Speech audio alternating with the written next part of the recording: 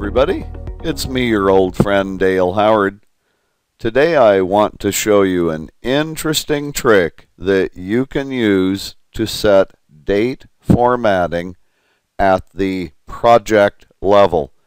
This is something that most people consider impossible to do in Microsoft Project.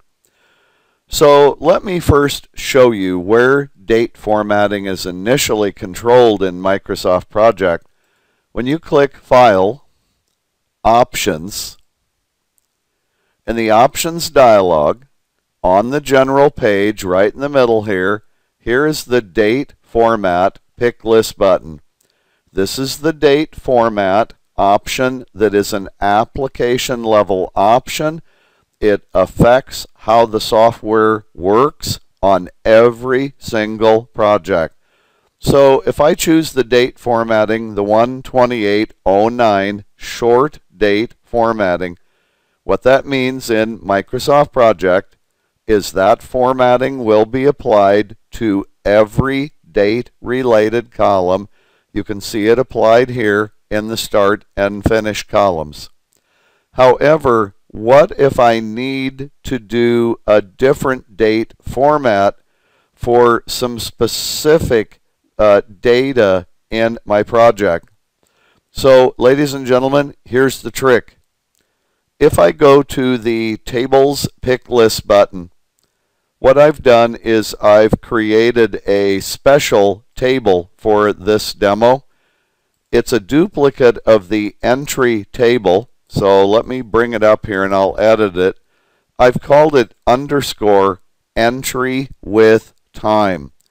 What I would like to do in this table is show all of the regular columns that are in the entry table, but I would like to show date plus the time for this particular table. I don't want it to apply to the rest of the project, just one set of columns in a special situation. What most people don't realize is when you're in the process of creating a custom table or even using a default table, there is a date format option below the list of columns.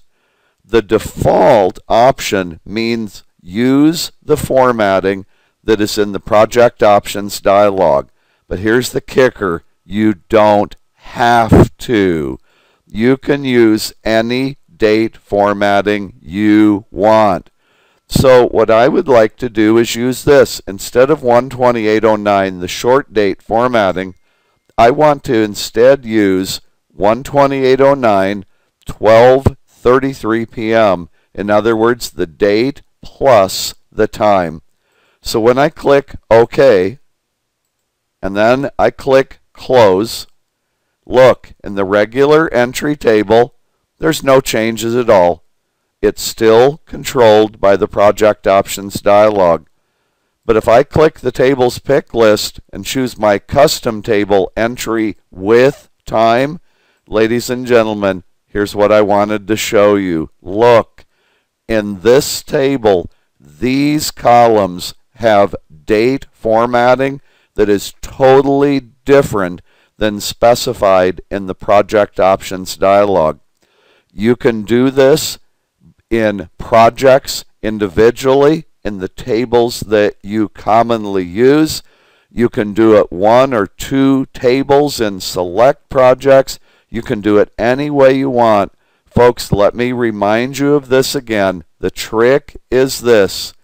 When you are editing a table, you have the option down here at the bottom of the table definition dialog to specify how you want dates formatted in that particular table, whether it's a default table included in Microsoft Project or a custom table you yourself create. So folks, there's another tip and trick for you. Thanks everybody for joining me. We'll see you the next time. Bye-bye.